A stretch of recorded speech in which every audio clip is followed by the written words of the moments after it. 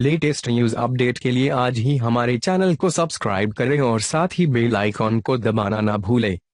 20 साल पुराने काला हिरण शिकार मामले में गुरुवार को जोधपुर की chief judicial magistrate C J M की कोर्ट ने सलमान खान को दोषी करार दिया।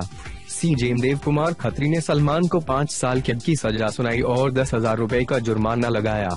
उसके बाद सलमान को जोधपुर जेल भेजा गया। वे चौथी बार वहाँ गए हैं।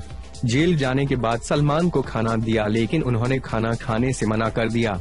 ये खाना दिया गया था। सलमान को जेल। डीआईजी ने बताया कि जेल नियमों के अनुसार सलमान खान को रोटी, पत्ता, गोभी की सब्ज़ी और चने की दाल खाने के लिए दी है, लेकिन उन्होंने खाना नहीं खाया और भूखे सो गए। उन्हें जेल में दाखिल करते समय मेडिकल जाँच कराई गई थी।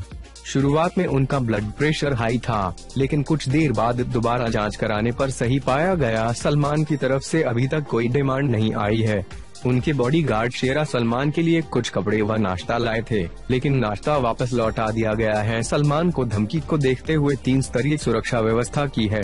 सलमान ने टॉयलेट की व्यवस्था के बारे में पूछा था, उन्हें बाथरूम व गीजर को लेकर खुद का किया पुराना वादा भी याद है। शायद वे इस बार पूरा करें। उन्हें खाने व पीने को वही सब कुछ मिलेगा, जो अन्य कैदियों को दिया जाता है।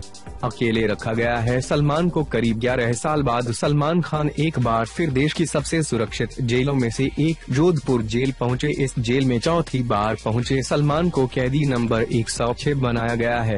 उन्हें वार्ड नंबर दो के एक कमरे में अकेले में रखा गया है। अब जेल में आसाराम के पड़ोसी बन गए हैं। ग्यारह बरस में जोधपुर जेल काफ़ी बदल चुकी है और यहाँ कई कुख्यात गैंगस्टर बंद है, जिनसे सलमान की जान को खतरा हो सकता है। ऐसे में उन्हें जेल में सबसे सुरक्षित मानी जाने वाले स्थान पर रखा गया है। 2006 में ये था सलमान का कैदी नंबर। वर्ष 2006 में पाँच साल की सजा सुनाए जाने के बाद सलमान छह दिन के लिए जोधपुर जेल में कैदी नंबर दो सौ दस बनकर रहे थे। जेल में सलमान की बैरक में हत्या के आरोप में सजा काट रहा महेश सैनी रहा था। जेल में रहने के दौरान यहाँ के सीमित और बदबूदार टॉयलेट्स के कारण सलमान को सबसे अधिक दिक्कतों का सामना करना पड़ा था। इसके अलावा जेल की गर्मी ने सलमान की जमकर परीक्षा ली। जेल की बैरक के सीमित पंखों में सलमान को एक एक पल निकालना भारी पड़ गया था। इससे सलमान को एहसास हुआ कि जेल के अन्य बंदी कितनी दिक्कतों का सामना कर रहे हैं।